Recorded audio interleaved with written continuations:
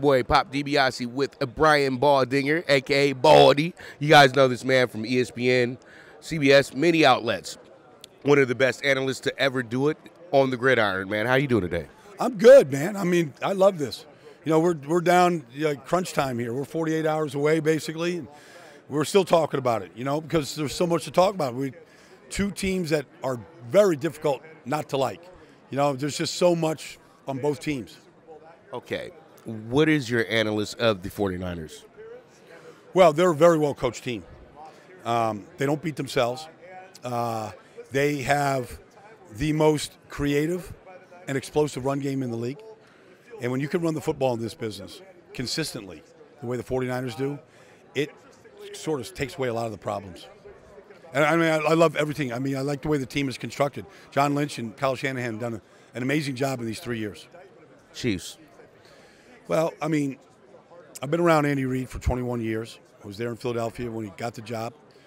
I've seen the way that he knows how to put a team together. But the quarterback is just so special.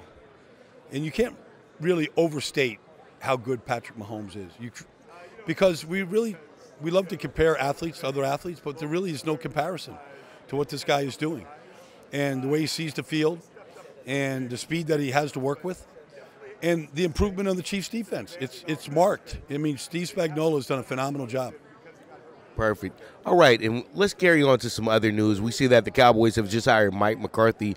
How are you feeling about the Cowboys' future and them moving forward now that they have a Super Bowl winning coach? Well, you know, you have to look at Mike McCarthy's background. I mean, he coached Joe Montana. He coached Brett Favre. He's coached Aaron Rodgers. I mean, look around any of these rooms here at the Super Bowl, you're seeing their pictures and their trophies. So I think a guy that has that kind of experience, if I was Dak Prescott, if I was Ezekiel Elliott and I wanted to win championships, I'd gravitate towards a guy that has won championships and has coached great players. And I would want to know what he can do for me to get the best out of me. Okay, and um, we see the Raiders are moving to Las Vegas and everything. Do you think that the Raiders may be in the market of moving on from uh, Derek Carr? You know, he has a very heavy contract and everything like that, and, and would it look like it could be a just total overhaul, or trying to bring in a savvy vet that might be a little bit better to carry them on down the way? I don't. I'm not. I don't have any intel, you know, on what they're going to do. Um, I, I, would say this: if you're going to move on from Derek Carr, tell me what your succession plan is. Like, just don't make the move and then just go out there and have a wing and a prayer. Like, if you have a better plan that's better than Derek Carr, because outside of the one year where he, he got nicked up at the end of the season, he's been healthy, he's been productive, and I think that you know he still needs better talent around him. So he's at his best when he's really attacks and he's aggressive.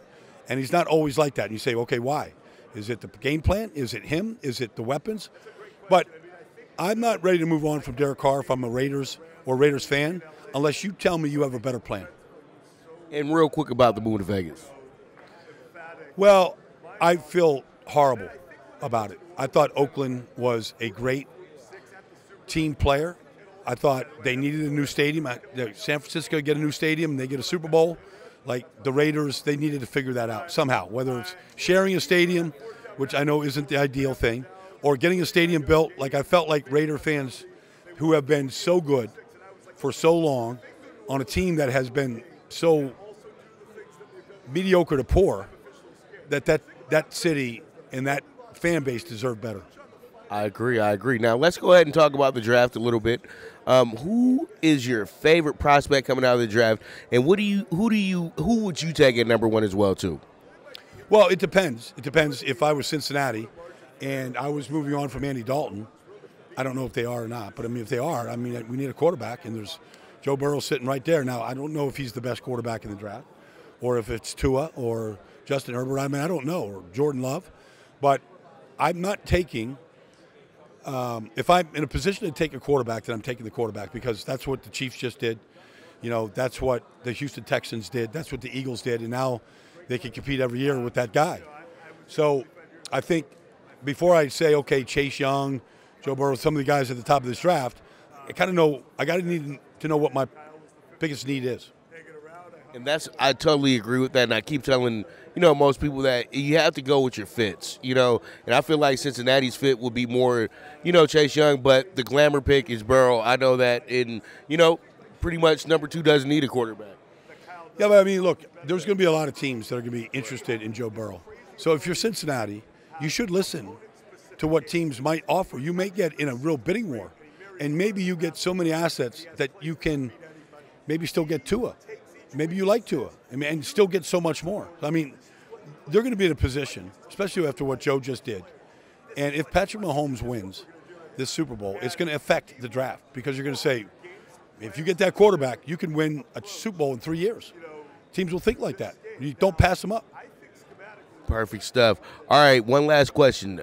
Prediction, final score. I'll just keep it simple. I'll, I'll take the 49ers. I've liked them all year long, and I like them 28 24. Perfection. Thank you so much. It's your boy Pop DiBiase signing out for Fanatics View with Brian Baldinger. What's up, sports fans? Breon Page here with Fanatics Viewed. Thank you so much for hanging out with us. If you enjoyed watching and you want to see more content, subscribe down below.